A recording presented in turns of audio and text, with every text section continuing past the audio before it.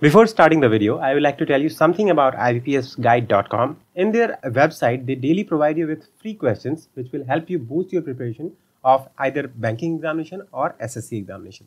Also, you can check out their test series which has very high standard questions and also all the questions are accompanied by detailed solutions okay so you don't have to wonder here and there for the solutions and also towards the end of the test they provide you with analysis that how well you have performed which are the areas which you must work on. Also the tests are available in both the language that is Hindi and English. So you can switch between both the languages and it is accessible either on mobile application or desktop whichever suits you. Okay. For more information about IBPS Guide quality mocks, you can visit their e-store that is e-store.ibpsguide.com. Now let's move on to our video. Hello everyone, welcome to IBPS Guide. In this particular video, we will be looking at some of the questions related to data sufficiency and these questions will be very important for your SBI PO pre-exam as well as mains exam. Okay. Also, you can expect similar type of question in your RRB PO pre as well as mains exam. Okay. So without wasting any time, let's move on to these questions. So first let us discuss the direction of the question. So the direction is like this. For each of the following questions, two statements are given. Use the data of these two statements and then determine which of the following statement is necessary to answer the question. Okay. So in DS question, that is data sufficiency question, there is basically a question, okay, which is followed by two statement Statement number one and statement number two. Okay. Now we have to answer this question using this statement either one or 2 or the combination of these two. Okay? And accordingly we have to choose the option. Now i will choose this option number 1 only if statement 1 alone is sufficient. Okay? So statement 1 alone then i will choose option number a, a. now i will choose this option number b if statement 2 alone is sufficient. Okay? So this is also alone.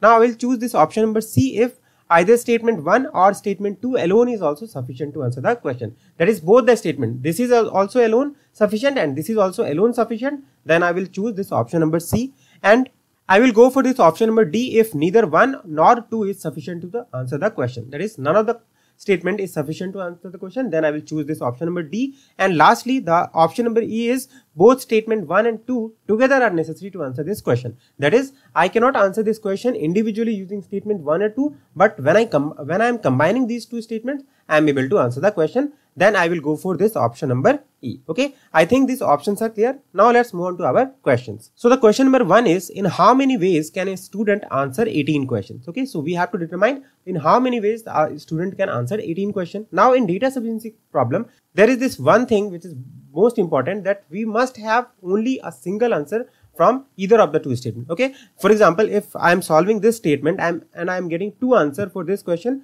then this statement will not be sufficient okay? I must have a unique answer from each of the statement. Then only i can say that both the statement alone are sufficient. Now if i am saying that for example this statement number 2 is providing me with two answer for this question then statement 2 will not be sufficient okay? So they are asking in how many ways a student can answer 18 question so the statement number 1 is what all the question has two sub questions namely question A and question B. A student must either answer question A or question B. Okay. But since they have not mentioned that total how many questions are present because in all the questions for example this is my question number 1 in question number 1 there is two part A and B okay and student has to uh, answer either A or B okay so since they have not mentioned that how many questions are there I cannot exactly tell you that in how many ways a student can answer 18 questions. So I can see that one alone is not sufficient, right?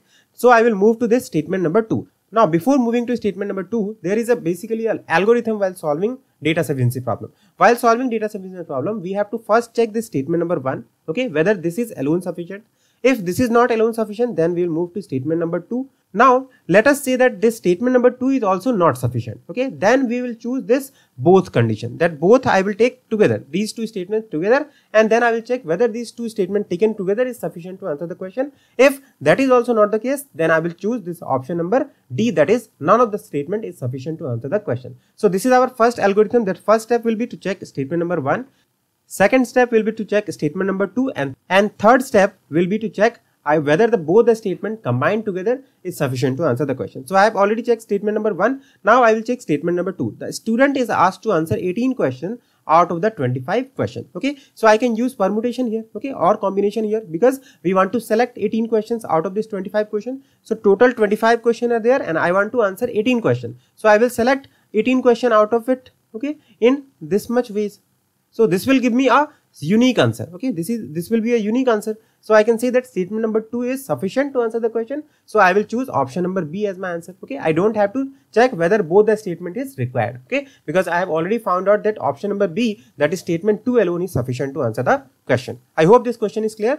अब हम आगे चलते हैं okay in question number two में आपको क्या बोल रहा है how many minimum mark is required to pass an examination मतलब मिनिमम आपका पासिंग मार्क क्या है so basically they are asking about the passing mark right now अगर मैं स्टेटमेंट नंबर वन को देखता हूँ तो यहाँ क्या बोल रहा है? Student will be declare passed if he secures 34.7 of the total mark okay so if they are asking passing mark अगर मैं ये बोलता हूँ कि 34.7 परसेंट आप मार्क ले आओ टोटल मार्क का तो अगर मुझे कोई टोटल मार्क नहीं बताता है बिकॉज़ आप ये मत एज्यूम करना कि टोटल आपका हंड्रेड मार्क का एग्ज़ाम है okay because they have not stated the total mark of the exam is hundred so we can not directly assume this total mark okay but only when they will provide us with the total mark I will take thirty four point seven percent of the total mark and I will get the passing mark otherwise, i won't be able to find out the passing mark. So this statement, one, is not alone sufficient, because we don't know about the total mark, okay? ये आपको समझ आ गया? Similarly अगर statement two की बात करें तो यहाँ क्या बोल रहे हैं? A student score thirty percent of the total mark in the examination and failed by eighteen percent okay तो मतलब पासिंग मार्क कितना होगा? Since he had score thirty percent of the total mark for example I am considering the total mark as T if I add eighteen to it this will be my passing mark okay हो जाएगा ना? क्योंकि उसने thirty percent mark आपका score किया है, लेकिन तभी भी वो फेल हो जाता है अठारह मार्क से। इसका मतलब अगर मैं उसको एटीन मार्क दे दूँगा तो वो पासिंग मार्क हो जाएगा। और वो पास हो जाएगा okay so I have to find this T अगर ये टी पता चल जाएगा then I will get this passing mark and I will say that this statement is sufficient now they are saying that if he had secures 21 more mark his percentage of mark would be 37% okay so originally he had scored 30% mark okay now 30% of mark में अगर वो क्या करता है 21 more mark he if he scores that is plus 21 will give us what 37% of mark so this is 37% of the total mark okay now इस equation से अगर मैं इसको उस तरफ़ ले जाऊँ so I will get seven percent of T seven percent of T will be equal to twenty one so I can directly find this T value okay T तो मुझे मिल जाएगा. Now if T is known I can directly substitute the value of T here and I will get this passing mark okay? So I can see that statement number 2 is what? Sufficient to answer the question. So I, my uh, correct option will be what? Option B okay okay? क्योंकि यहाँ पे क्या बोला उन्होंने कि अगर वो आपका 21 ज़्यादा मार्क लाता है तो उसका परसेंटेज कितना हो जाएगा 37 परसेंट तो इनिशियली उसका 30 परसेंट था अगर 21 उसमें ऐड कर देते हैं तो वो 37 बन जाता है तो यहाँ से मुझे टोटल मार्क मिल जाएगा टोटल मार्क जब यहाँ पुट करेंगे then I will get the passing mark so answer option will be what B okay now let's move on to our third question so third question में आपको क्या बोल हैं? What is the rate of interest per annum तो आपको R की value निकालनी है। ओके? तो स्टेटमेंट वन क्या बोल हैं? The difference between the compound interest and the simple interest on an amount of rupees thirty two thousand is rupees three twenty in two years okay तो मुझे पता है कि आपका एक फॉर्मूला होता है कि C I minus S I is equal to what for two years के लिए बता रहा हूँ। C I for two years okay this is the formula for two years for two years C I minus S I is equal to what P into R by hundred square okay Now they have given us this difference. The difference is 320. The principal amount is 32,000. Okay. So I can easily find this R value. Okay. Because only variable आपका क्या है इसमें R ही है. So one is sufficient. Okay. अगर one sufficient है तो आप directly A मत लगा देना because there is a option either or also. Okay. इधर और अगर है तो आपको क्या है वन अगर मिल गया तो टू को भी आप चेक कर लो ओके टू क्या पता आपका टू भी सफिशियंट हो जाए okay now this statement number two is saying an amount triple itself at simple interest in fourteen years okay so अगर मैं अमाउंट की बात करूँ तो अमाउंट आपका क्या होता है? P plus S I okay so they are saying that this amount is triple triple means three times so three times of the principal is equal to P plus S I okay in fourteen years I have to find this rate of interest I will check whether I will able to find this rate of interest और not so अगर मैं इस P को इस तरफ़ ले जाऊँ तो this will become two P is equal to S I will be what P into R into time is what fourteen divided by hundred right now this p and p will cancel there is only one variable left there is r so yahan se mera r kya ho jayega nikal jayega so i can say that this 2 alone is also sufficient okay so in this case my answer will be what option c that is either 1 is sufficient or 2 is also sufficient to answer the question okay i hope aapko ye wala question bhi samajh aa gaya hoga let now let's move on to our question number 4 question number four में आपको क्या बोला है? Is the selling price for a profit of 40 percent okay तो आपको निकालना है कि अगर आपका प्रॉफिट जो है 40 परसेंट होता है तो what will be the selling price तो सेलिंग प्राइस आप कैसे निकालोगे? अगर आपका प्रॉफिट 40 परसेंट है then 140 percent of C P okay so if I am able to find this CP then I will get this selling price okay so the only unknown that I am looking for is the C P okay तो statement one आपको क्या बोल रहा है? A shopkeeper sold an item to customer Raghav at a profit of fifty percent okay so अगर मान लो कि ये आपका शॉपकीपर है shopkeeper must have something CP and then shopkeeper must must be selling this at certain price so there will be some S P now Raghav is here okay Raghav is here and who sold so Raghav is selling who sold to his friend Kathir for rupees twenty thousand a claims a profit of rupees two thousand okay so shopkeeper is selling to Raghav and Raghav is again selling to Kathir Four rupees this much and claims a profit of this much. Okay, so I can say that कि अगर ये आपका क्या है selling price है this is Raghav. Selling price for what? Raghav so Raghav okay? And he is claiming a profit of 2000 so if raghav is having a, a profit of 2000 this means his cp will be what? 18000 okay?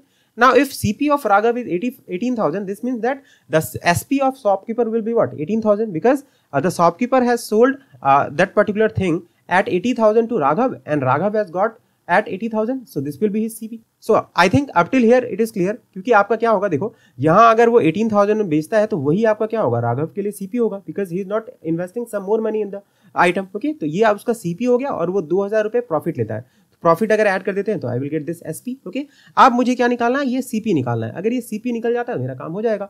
Now I can see that कि आपका shopkeeper जो है, वो क्या करता है? बेचता है। एक सौ पचास परसेंट प्रॉफिट में बेचता है। तो पचास परसेंट प्रॉफिट मतलब one fifty percent of CP okay of shopkeeper will be equal to what this eighteen thousand okay eighteen thousand हो जाएगा तो यहाँ से सीपी निकल आ जाएगा ना?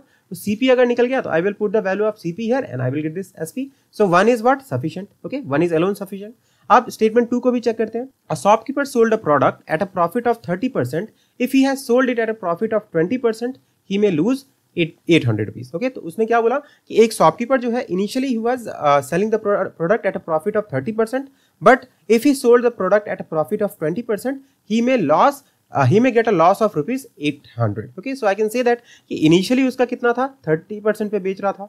Now he is selling at twenty percent ना इन दोनों का डिफरेंस अगर मैं करता हूँ तो मुझे क्या हो जाता है? लॉस हो जाता है एट हंड्रेड रुपीज़ का okay now profit is always calculated on C P so this this action will be done on this C P okay so here from here I can easily find this C P value समझ आ गया ना? क्योंकि देखो thirty percent का originally profit था तो उसमें प्रॉफिट में कुछ उसको अमाउंट मिल रहा होगा ओके अब उसने क्या किया कि बीस परसेंट प्रॉफिट पे बेच दिया तो उसको अभी भी कुछ अमाउंट मिल रहा होगा।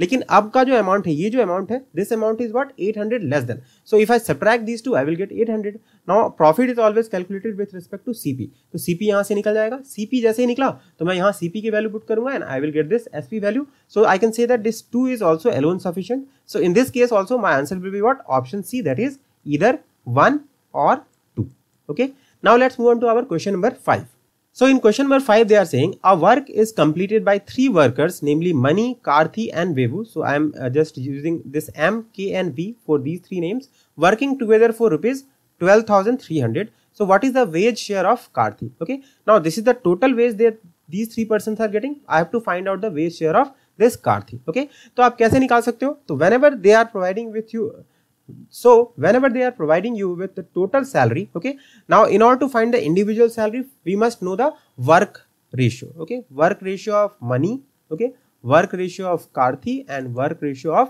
बेवो ओके अगर ये तीनों मुझे पता चल जाता है then I will easily find the value of this okay और I can see that if these three person are working for the same number of days then even if I got this efficiency ratio of money efficiency ratio of Karthi and efficiency ratio of Vivu, then also I can easily find out the waste share of Karthi. Okay, so either I am able to find the work ratio of these three person or the efficiency ratio of these three person, I can easily find out the ways of Karthi. Okay, so the, if I look at this statement number one, statement number one आपको क्या बोला है? Money and Karthi can complete the work in eight days. Okay, working together they can complete the work in eight days. So I will use LCM method and I will assume the work as what? 8 unit. Okay, if work is 8 unit then I can say that money plus Karthi will be equal to what? 1 okay? Because they took 8 days and total 8 units is there.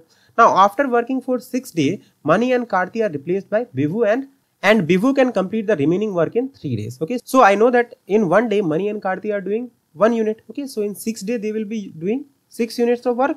Now still 2 uh, the total work is 8 okay? So uh, this vivu is coming and vivu is completing the work in 3 days. So i can say that this 3v is equal to what? 8 so from here i can easily find this v value. V value will be what? This will go this side. This will be equal to 2 by 3 okay? So i have got the efficiency of vivu but I have uh, but I don't know about the efficiency of money and Karti. So I can say that this statement alone is not sufficient because this is providing us only with the data of for Vivo, not for money and Karti. Okay, मुझे बस एक ही का efficiency पता चला है ना तीनों का efficiency का ratio चाहिए वो तो नहीं मिल पा रहा so this is not sufficient. Statement two को लेते हैं तो money and Vibhu together can complete the work in this much time okay तो अगर मैं इसको भी यूज़ करता हूँ तो this will give us what M plus V will be equal to what ये अगर मैं टोटल आपका डेज़ है ना days is directly proportional to inversely proportional to what efficiency so आपका क्या बोल सकता हूँ कि इन दोनों का टोटल एफिशिएंसी कितना हो जाएगा? Seven by seventy two okay which is not sufficient to answer the question क्योंकि इसमें क्या है? आपके पास बस दोनों का पता चला है। आपको मनी कार्तिक का तो पता ही नहीं चला। So two is also not sufficient तो हमने क्या बोला था एल्गोरिथम में? सबसे पहले I will try one okay then I will check two then, if these are not possible, then I will check for both, okay? Now, I will combine these two statements.